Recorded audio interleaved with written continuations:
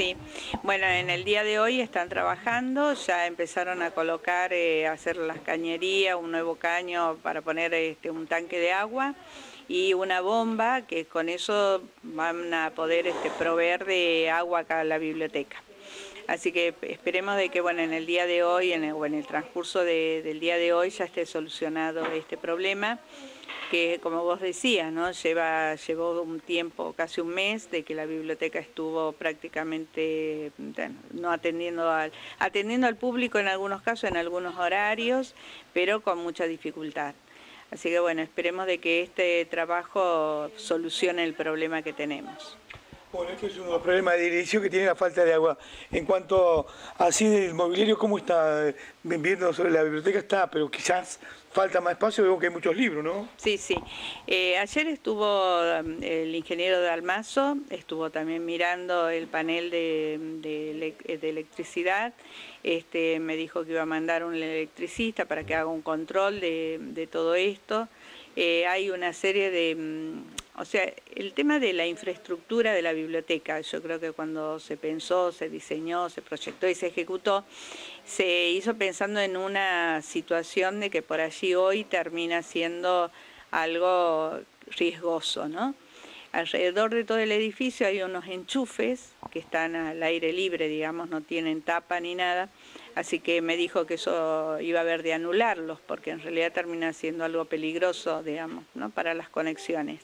Creo que eso se pensó como para tener acceso a la electricidad si se quería trabajar al aire libre, supongo que alguna cosa así. En el cantero hay una, un toma que está sin ningún tipo de protección, entonces me dice, bueno, todo eso se va a anular y bueno, me parece que son los cuidados que por ahí requiere, ¿no? La, requiere la situación y más con todo lo que estamos viviendo pero que son los temas de los controles que por allí en los edificios como este edificio eh, no, se hacen habitualmente, salvo cuando surge un problema. Sí también tenemos un problema con este tema del viento, la lluvia y demás, eh, del techo, así que bueno, lo vamos a convocar al señor Almada, que es el responsable de la municipalidad, como para que evitar de que esto se siga deteriorando, ¿no? Es algo que está este, no es muy dificultoso para arreglarlo hoy. Así que, bueno, me dijo él de que sí, que él también pensaba de que era conveniente que lo convoque a, la persona responsable como para que mire y vea si esto se podía solucionar. De todas maneras, eso no tiene ni impide el funcionamiento de la biblioteca. Es algo preventivo, digamos. Así que lo del agua sí, porque al no tener agua en los baños no podíamos tener, eh, no podíamos hacer que el público acceda y por el mismo personal que está acá en la biblioteca. Después, con respecto al personal, bueno, seguimos gestionando el nombramiento del bibliotecario, que bueno, ya sabemos cuál es, a dónde está el expediente, qué pasó con el expediente, está en este momento el secretario de Cultura de la provincia eh, gestionando para que esto se pueda este, viabilizar ese nombramiento. Por otro lado, tenemos una persona, una docente, que vendría con tareas readecuadas en el horario de la tarde, que es el horario que nosotros necesitamos Claro, porque a la mañana siempre está Francisca, está Silvia también, medianamente Silvia de, de, personal general, pero también se está adaptando al tema libros. El problema es a la tarde, entonces, Alicia. Sí, sí, el problema es a la tarde, porque si no tenemos personal no puede funcionar. Así que, bueno, eh, con esta, dada esta situación se podría llegar a mejorar, digamos, este tema de los horarios de funcionamiento de la biblioteca.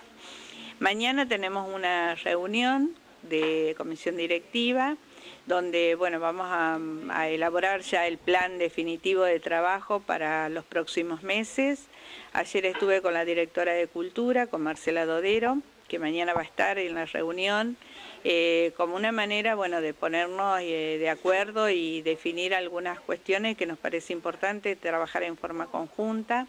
Este, ayer ya surgieron algunas ideas, hay una ordenanza municipal que habla de la feria municipal, eh, la feria del libro municipal, así que bueno, esa sería una tarea que bueno, nos parece interesante, mañana la vamos a, vamos a comentarla en la comisión con ella. Y bueno, y otras ah, distintas cuestiones que fuimos como mirando de poder trabajar en forma conjunta. Así que bueno, la idea nuestra de esta comisión es abrir, digamos, a actividades, ya sea con otras bibliotecas de la localidad, con las bibliotecas, no solamente las bibliotecas populares, sino también con las bibliotecas escolares y bueno, con, por supuesto con la Dirección de Cultura, que es el órgano de referencia que tiene esta biblioteca a nivel municipal, con la de, mm, Secretaría de Cultura de la provincia, que en este momento también me puso en contacto con la actual directora de biblioteca de la provincia, que está de licencia, pero este, bueno, con la idea de poder eh, analizar con ella qué, mm, talleres o qué actividades de las que tiene Cultura de la provincia, que trabajó durante toda la temporada con la Biblioteca Luis Piedrabuena, podríamos también tenerlo acá en la Biblioteca Cincuentenario. Así que bueno, digamos como que mañana terminaríamos de definir eh, a nivel de la comisión directiva y con Francisca, que bueno, es la, el motor en todo esto, este, las actividades para los próximos meses. Eh, Alicia, en cuanto a la masa societarias, eh, ¿sigue siendo la misma? ¿Se bajó? ¿Se va, ¿Hay proyecto de sumar gente o adherente? ¿Cómo se va a trabajar? No, no, me parece que no, disminuir no, me parece que se va sumando. Este, no hablamos, bueno, mañana ese es uno de los puntos este, que vamos a tratar, si se va a hacer una campaña de socios, pero en realidad eh, la biblioteca con la, cuota de, socios, eh, que es importante, justo recién Francisca me decía que ahora iba a venir el cobrador a traer este, el dinero, eh, se puede eh, digamos, subvencionar muchos de los gastos que tiene la biblioteca.